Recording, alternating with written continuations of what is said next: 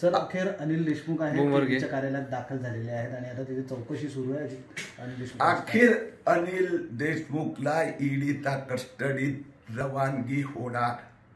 भले आले असेल स्वतःच्या गाडीत जायला तर पोलिसांची गाडी किमान शंभर दिवस ईडी कस्टडीत राहावं लागणार.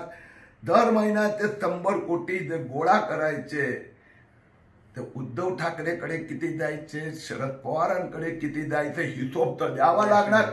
पहिली अटक जितेंद्र आव्हाडाची झाली होती दुसरी अनिल देशमुख आणि त्यानंतर नंबर अनिल परबचा सर किती गंभीर हे प्रकरण आहे कारण की माजी गृहमंत्रीची आता चौकशी होते आहे ईडी कडून नाही शरद पवार आणि उद्धव ठाकरेंनी वाचवण्यासाठी खूप धडपड केली. पण सुप्रीम कोर्ट हायकोर्ट सगळ्यांनी सांगितलं जेल तो जाना पडेगा. गंभीर म्हणजे अनिल देशमुखचा पीएने सांगितलं आम्ही जे करायचो आमचे बॉस अनिल देशमुख. आता अनिल देशमुखला झक मारत सांगव लागणार की मी जे करायचो त्यातनं एवढे शरद पवारकडे जायचे आणि एवढे उद्धव ठाकरेकडे अनिल परबच्या थ्रू जायचे.